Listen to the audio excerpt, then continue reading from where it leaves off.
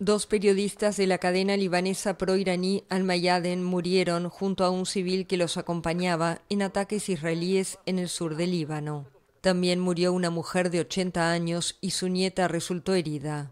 La información fue brindada por la agencia de prensa oficial libanesa ANI y el canal Al-Mayaden para el que trabajaban los reporteros. Según la agencia, el ataque tuvo lugar en el sector fronterizo de Tair Harfa. Los reporteros eran la corresponsal Farah Omar y el camarógrafo Rabi Maamari.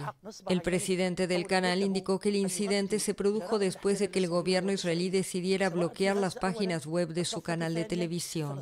Consultado por la France Press sobre este bombardeo, el ejército israelí dijo estar examinando los detalles. Desde el inicio de la guerra entre el movimiento islamista palestino Hamas e Israel el 7 de octubre, los enfrentamientos entre el ejército israelí y el movimiento libanés pro-iraní Hezbollah han sido casi diarios, si bien limitados a la zona fronteriza entre ambos países. En los últimos días, Hezbollah intensificó sus ataques contra Israel desde el sur del Líbano.